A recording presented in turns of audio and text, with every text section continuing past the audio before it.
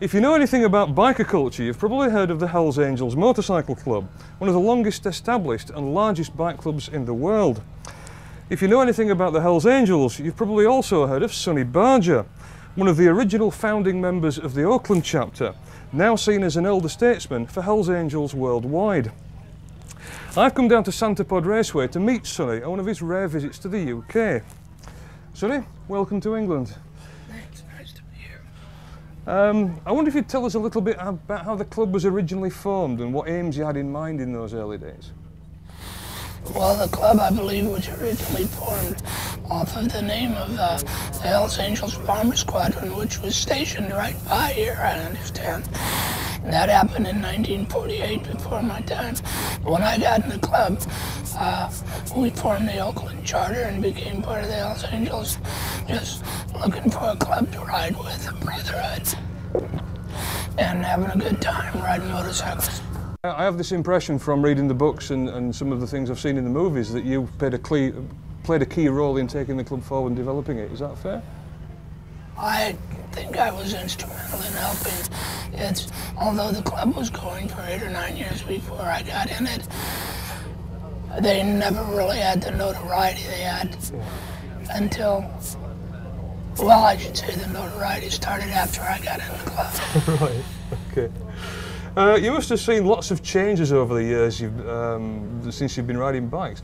What do you see as the biggest difference to life on bikes now to what it was in, in your early days? Well, you can ride in much further distances. Right. I mean, you know, like in the 50s, if you got 300 miles a day, you really were doing well. Today, it's nothing to get a 1,000. That's because of breakdowns, is it? And better reliability? Uh, rigid frames. Right. It must have been pretty uncomfortable riding around on those rigid things. Well, we didn't know it. I believe you also appeared in a movie acting alongside Jack Nicholson. Well, we did, and you know, I mean, this is going to sound funny, but we didn't act alongside of Jack. At that time, Jack Nicholson was in a movie with us. That was his first movie. He wasn't a star, and we were the stars, and he was working in our movie.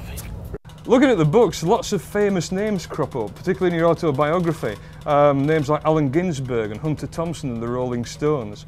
Um, as a survivor of the 60s, how do you regard some of those people now?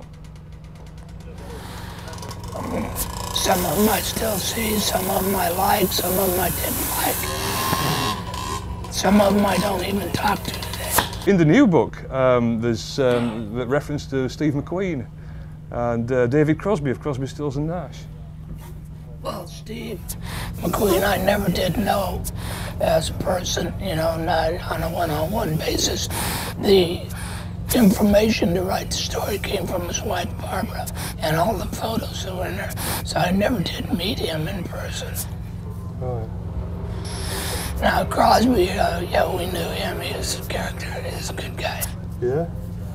Uh, Would you like to say a bit more about that? I Sure, we'd love to hear what, what, what he got up to. No, he's, he's had enough problems. He don't need any with me talking about what I know about. Have Harley Davidson Motor Company asked you to join in their centenary celebrations next year? Davidson would rather even ride their motorcycle, let alone come to one of their uh, functions. But as, as such a famous figure, you must have brought some great publicity to the brand. Well, I think the thing of it is infamous, not famous.